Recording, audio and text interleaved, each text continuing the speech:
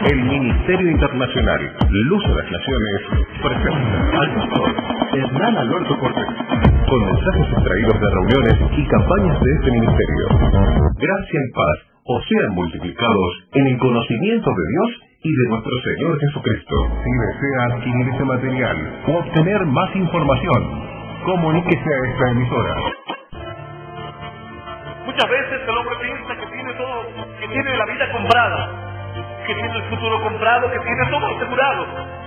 Sin embargo, el punto de vista de Dios, la Biblia dice que a veces no son nuestros puntos de vista, los caminos del Señor, muchas veces no son nuestros caminos, nuestras ideas, a veces son muy buenas, muy morales, están de acuerdo a la realidad social de esos días, pero no son las ideas de Dios. No son las ideas de Dios.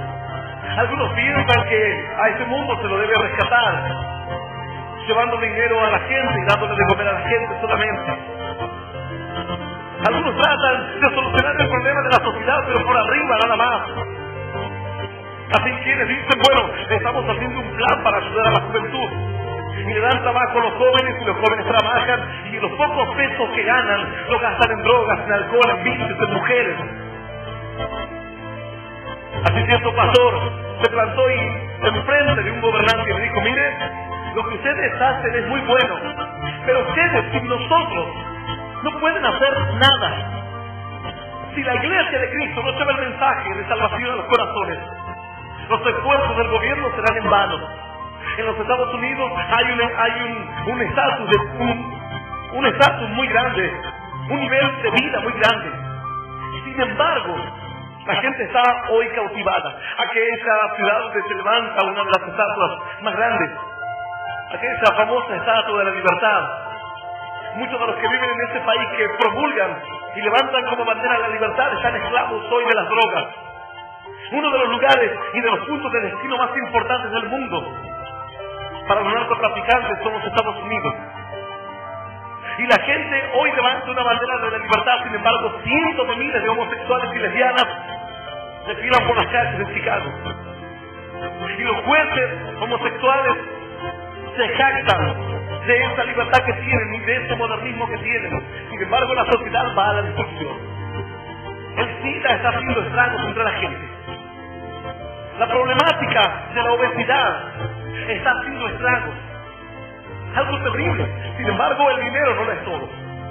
La, ayuda social no es todo. Una buena política no es todo. Lo que el hombre necesita es conocer el punto de vista de Dios. ¿Qué es lo que Dios quiere para su vida? Tu vida no es un auto, no es una casa, no es alimento. Es algo más. La Biblia dice que lo que el hombre necesita es algo más que eso. Un cambio y una transformación en su interior.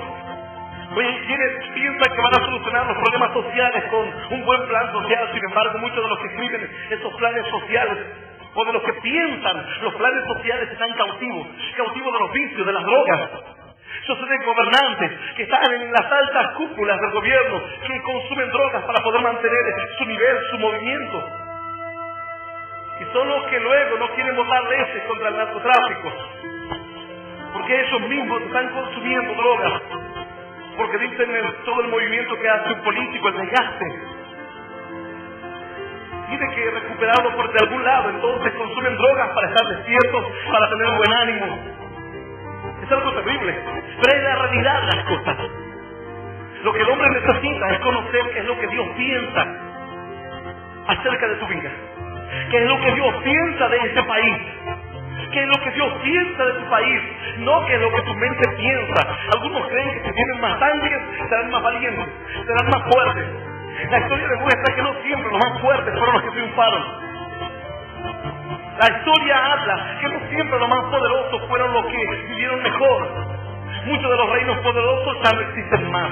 Sodoma y Gomorra eran dos símbolos en la antigüedad de opulencia, de ostentosidad, de prosperidad, de modernismo. Sin embargo, ya no existen más. Estos estaban tan avanzados que hoy los que creen que descubrieron algo nuevo, esos ya vivían en el libertinaje. Esos eran modernos, entre comillas. Esos promulgaban la homosexualidad. No les gustaban las mujeres. Así vivían los de Sodoma y los de Gomorra. Así vive mucha gente hoy pensando que al ser homosexuales o lesbianas son modernos y se liberan. ¿Se liberan de qué? ¿De qué te vas a liberar? De un prejuicio, del que dirán, pero nada más. Pero no podrás librarte de la ansiedad, de la insatisfacción, del dolor, de la pena, de la angustia que invade tu alma. La Biblia dice que Dios vio a Sodoma y Gomorra y a Dios no le agradó. Tal vez hoy tu vida es buena hacia los demás, a, a imagen de los demás, a los ojos de otros. Pero hoy Dios se va a mirar qué es lo que ve Dios. ¿Qué es lo que ve Dios en el fondo de tu corazón? Dice que Dios vio y Dios dijo, no pueden seguir viviendo más así, Sodoma y Gomorra. Eran ciudades poderosas, nadie podría destruirlo, nadie podría hacerle frente. Hoy hay gobiernos que nadie puede hacerle frente. Que se creen los dueños del mundo, que se creen los que han comprado el poder y la autoridad sobre este planeta. Sin embargo, cometen el mismo error que cometieron en la antigüedad los reinos poderosos. Sodoma y Gomorra dice que un cierto día, en lo mejor de la fiesta, en lo mejor del baile, tal vez en lo mejor del casamiento, en otros casos en lo mejor del comercio, cuando alguien se había enriquecido con mucho dinero, dice que comenzó, misteriosamente comenzó a llover fuego y azufre sobre Sodoma y sobre Gomorra, sobre Adma y sobre Seboín. Cuatro ciudades que desaparecieron para siempre. Nunca más, hasta hoy día, los arqueólogos tratan de descifrar dónde están las ruinas de Sodoma y de Gomorra y no la encuentran. ¿Dónde está Sodoma? ¿Dónde está Gomorra? ¿Dónde está Adma y dónde está Seboín? Cuatro ciudades que no tuvieron en cuenta vivir agradando a Dios. Hoy muchos tratan de vivir agradando a los demás y si al jefe le gusta la corbata rayada, me pondré una corbata rayada. Y si está de moda vestirme con cuadro, con tal ropa, porque si no mis compañeras de trabajo me dirán que soy anticuada, dicen algunas, entonces tendré que ponerme a tono, ponerte a tono con los pensamientos de Dios. Tus caminos, dice la Biblia, no son mis caminos, dice el Señor. Mis pensamientos, mis pensamientos. Lo que le agrada al Señor es un espíritu quebrantado. Santo Dios.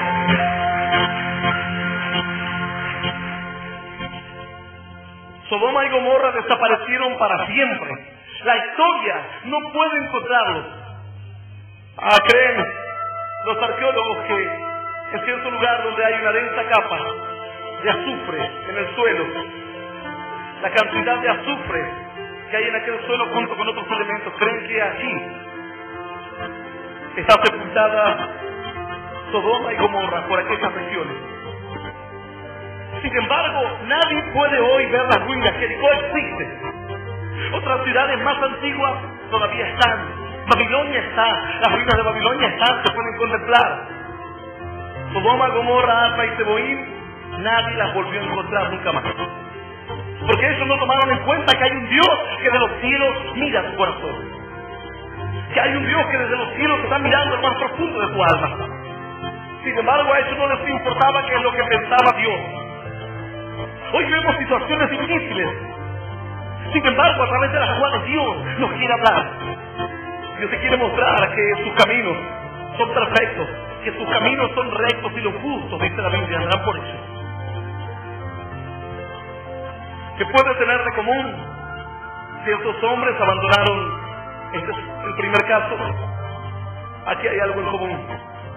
Ciertos hombres abandonaron la fábrica, se pusieron en huelga, reclamaban más salarios, salario justo. Tal vez era justo o no su reclamo. Sin embargo, lo que sí ocurrió es que después de tantos días de huelga la fábrica se paralizó. Los dueños de la fábrica no estaban dispuestos a perder tanta cantidad de dinero que estaban perdiendo diariamente. No llegaron a ningún acuerdo. Así que decidieron indemnizarlos a todos, arriesgarse le mandaron el telegrama de despido a todos y tomaron nuevos empleados. Este es el primer caso. Cosas suceden a tu alrededor que tal vez no las puedes ver, no las puedes asociar. Cierto otro hombre vivía con su esposa, una vida normal, una vida común, trabajaba, iba a su casa, amaba a su mujer, hasta que conoció otra, a la amiga de su mujer. Se enamoró de ella, en su mente. concibió el amor. Por eso la Biblia dice que el adulterio mental es tan y cuán terrible, igual de terrible, que el adulterio que se lleva a cabo. Porque te lleva a lo mismo, a las mismas consecuencias. Este hombre estando con su mujer en un momento concibió pensamientos de adulterio con la amiga de su esposa. Cierto día, para sorpresa de esta mujer, su marido la había abandonado, se había ido con su, con su mejor amiga. Los años pasaron. Él aparentemente vivía feliz y esta mujer quedó destrozada, con el alma deshecha. No sabía qué hacer. La crisis la llevó a, límites impresionantes, a querer quitarse la vida. Mientras ella por un lado quería matarse, ya no podía vivir más en este mundo, y él por otro lado estaba a las grandes risotadas con su nueva mujer. Los años pasaron, pero sin embargo, en, uno, en una situación determinada, cuando todo iba bien, cuando ya la familia, la nueva familia de este hombre estaba organizada, esta mujer lo abandonó. Él que había abandonado a su esposa para juntarse con la mejor amiga, ahora esta mujer lo abandonó a él y él se quedó solo. Este es el segundo caso. Tal vez hay algunos que aún no entiendan. Cierto creciente tocaba la guitarra aquí en la iglesia. Y él sabía todo. Aún cuando alguien le iba a decir algo, él no iba a recibir nada de nadie, porque él hacía tiempo que tocaba la guitarra, hacía tiempo que él venía a la iglesia. Y aún ya su orgullo había crecido de tal forma que él ya no podía reconocer ningún error. Cuando alguien le decía, ten, tened cuidado, que el enemigo anda como león rugiente buscando a quien devorar. Él sabía todo. La Biblia dice que el necio es sabio en toda su opinión. Si tienes algún amigo conocido que nunca se equivoca, decirle. La Biblia dice que así hacen los necios. Nunca se equivoca. Nunca cometen un error. El necio nunca se equivoca. Sin embargo, la Biblia dice que todos los hombres pecamos. Es imposible que un hombre no se equivoque. Sin embargo, él siguió tocando con la soberbia y el orgullo de su corazón. No entendió la mente de Dios, no entendió los pensamientos de Dios casó en fornicación y se fue de la iglesia. Sin embargo, la guitarra no quedó parada así. Otro tomó la guitarra y siguió tocando y alabando el nombre de Dios. Qué terrible. Este es el tercer caso. Todos tienen cosas en comunes. Qué terrible saber que hay personas que hoy no alcanzan ni terminan ni alcanzan a entender cuál sea el plan de Dios, cuál sea la perfecta voluntad de Dios. Así como en esos tres casos, algo tienen en común estos tres casos. Aunque son totalmente distintos, algo tienen en común. Dice la Biblia así. Capítulo 1, libro de Hechos, página 1003, según mi Biblia.